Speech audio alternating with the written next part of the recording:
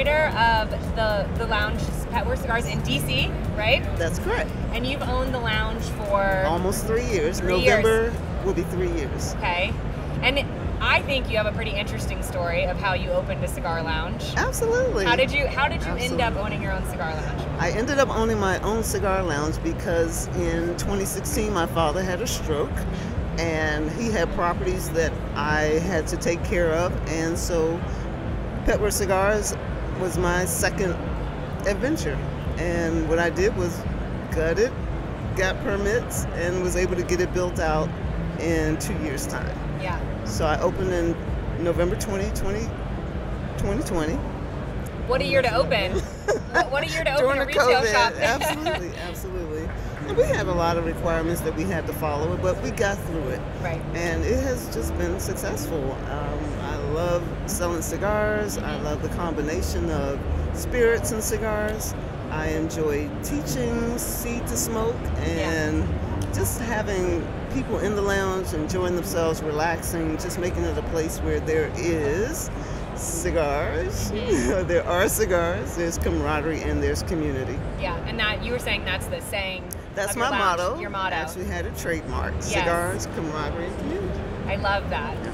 You know, it's a, it's a, a place for people to come and just be together Absolutely. and just relax. Yes. Yes, it's a it's a family, and Right. literally it does become your community. We Right. even have ladies who gather. We have the sassy, sexy six that come to, to come to the lounge always, and they gather, they talk, they eat together, they smoke together, and we just enjoy ourselves. You know what's going to happen if the sassy, sexy six find a seventh lady that would be interesting? You know, are they are they capped out? Do they have to kick somebody out to get? No, There's always room to It's grow, right? community. Yeah. just create a village. Yeah, there you go. have to expand. Put an asterisk on it. you know? Absolutely, absolutely. Um, I forgot to ask you at the beginning, what are you smoking? I'm smoking the American. And that's your first one, right? This is my first one. It was given to me by Drew Newman, Yep. And it is an all-American tobacco cigar. So I'm enjoying this Lancero. It's beautiful. Did he tell you that that is a special size that he rolls for himself and he only gives to special people? That is not for sale. That is his special stash, that size. I'm sorry, but it's good. So you have to be friends with Drew. just just so you know how, how much he thinks of your relationship. Absolutely. He gave you one of his special stash. Great. It's So we'll, wonderful. I'll have to check in with you later and see what you think about it. All right. Um, have you ever traveled within the industry? Have you ever gone to different countries? Is there anything that you've learned from that? I've been to both Nicaragua and the DR. Okay. So I went to Nicaragua in February, actually on a full tour, an educational experience with the different company, and it was amazing. Yeah. It was just me and about 20 other guys. Oh, we wow. had a great Guys. time. All guys. All guys. Were they all um, shop owners as well? Or were some some were consumers, Okay. some were retailers. Mhm. Mhm. Yep. How long were you down there? For it was a little less than a week. Okay. Yeah. Did you get to see tobacco fields as Oh, well? I or- went to the field. I was in the barns. I experienced the the rollers, the Right. box makers, the entire factory from start to finish. One thing about those trips, we we generally get to go. eh, I'd say before COVID, we'd go like two to three times a year to the Dominican and to Nicaragua.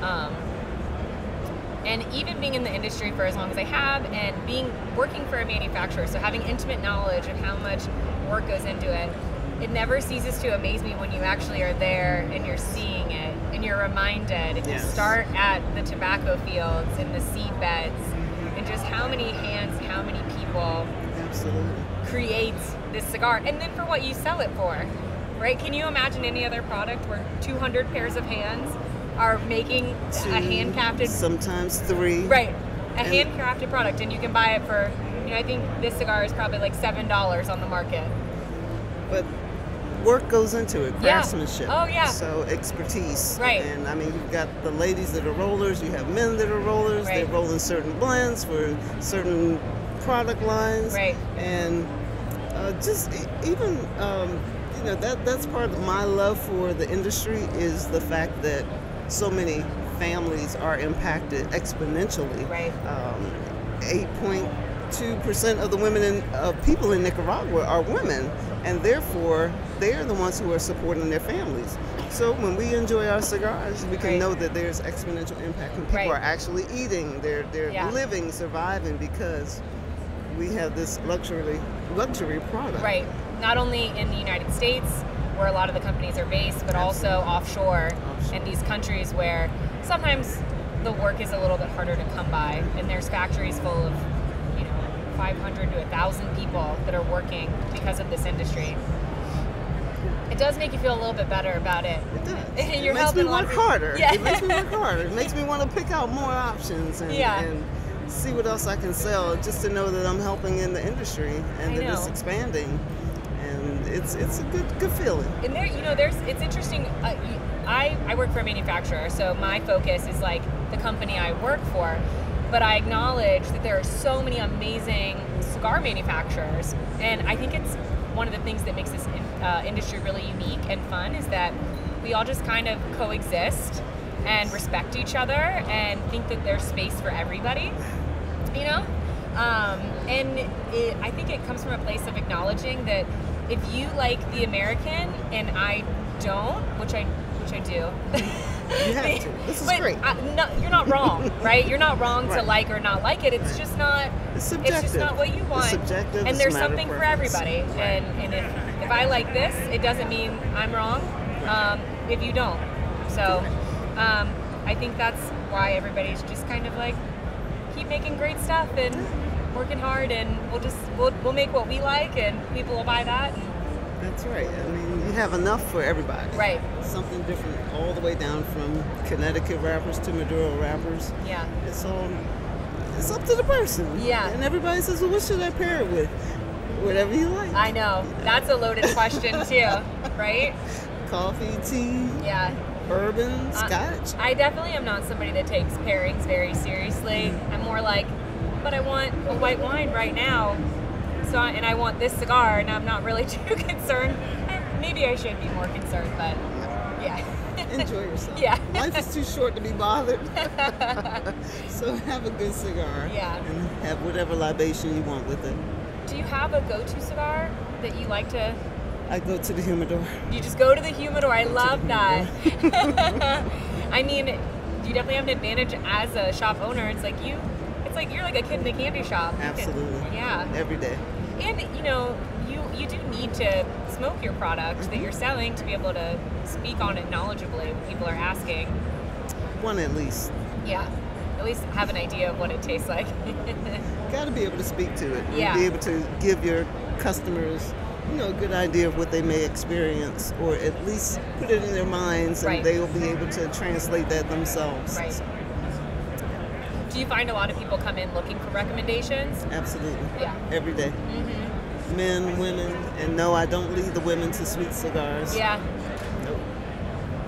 Whatever that I feel is reasonable, and, and I, you know, after talking with them, you just have to Right. get an idea of where they are. Do you go through some like qualifying questions? Like I do. yeah. I do. Kind of have to understand somebody's palate. What have you had to eat? Right. Have you smoked before? Right. You know. Do you like coffee with cream? Do you like it black? Yes. Some of the basic questions. Right. I know. I think sometimes people come in and they just, what should I smoke? And they think that that's like a simple.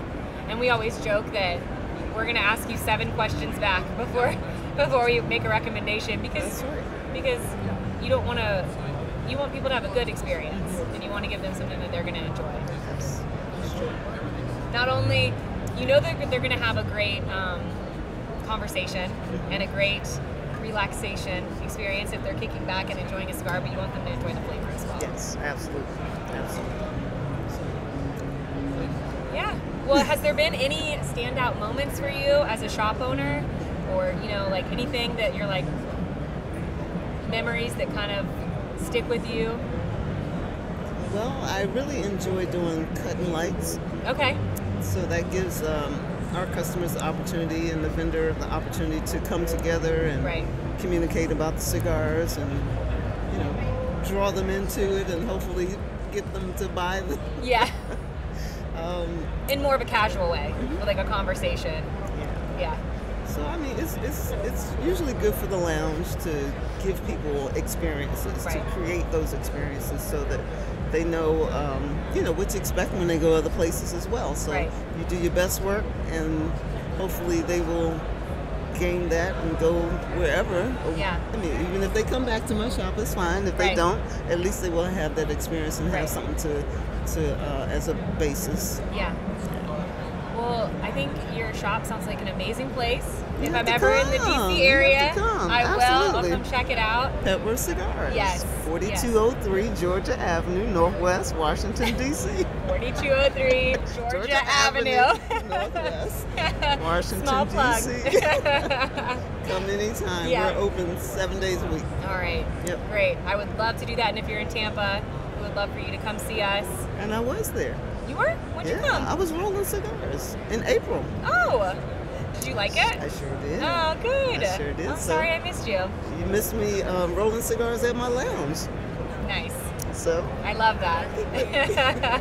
once you get into it, you really get into it. I know, so yeah. might as well experience it. yeah, all get all it. in. But Carol, thank you. No, I thank you. I really appreciate it. I really appreciate you taking the time, hanging out with us today. And thank you, everybody, for joining us. Check out Petworth Cigars, and we'll see you on the next episode.